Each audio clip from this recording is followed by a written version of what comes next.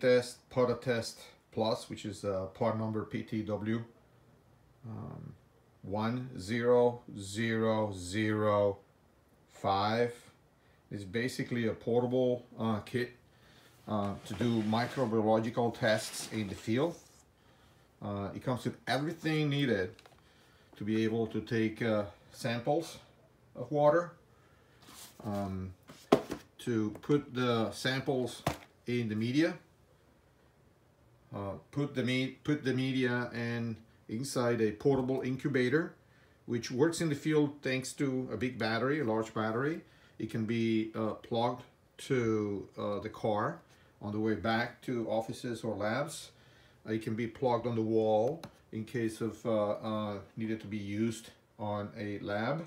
It comes with everything required to handle um, the samples.